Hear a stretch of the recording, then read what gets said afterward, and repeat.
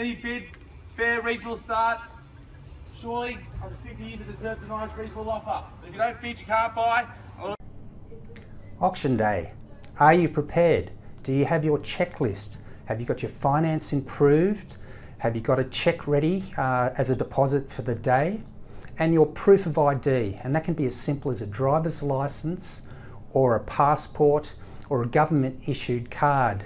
And if you're having someone bid for you, they will need to fill out an application on your behalf to bid for you. Next thing you want to do is to get there 20 minutes early. Give you a chance to get orientated, settle into the, into the place, relax, look for the registry desk and the agent, then go over and register. You'll be giving a bidding number. Next, you want to find a nice clear position where the auctioneer can see you and your number. What will happen next? The auctioneer will start calling out for a bid after he's read out the terms and conditions. My recommendation is to bid early and settle into the process. You'll be able to think much clearer once you've got that initial bid out of the way.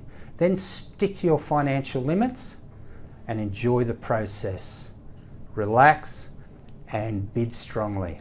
Okay, if you have any more questions, you can contact Grant at LJ Hooker Narrabeen on 0438 261 600. I look forward to talking to you soon.